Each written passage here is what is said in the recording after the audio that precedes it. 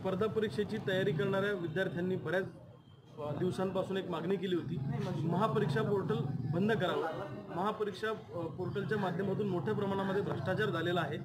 आणि हा भ्रष्टाचार झाल्यामुळं गोरगरीब कष्टकरी जे अभ्यास करणारे विद्यार्थी आहेत हे मात्र नोकरीपासून वंचित राहत होते.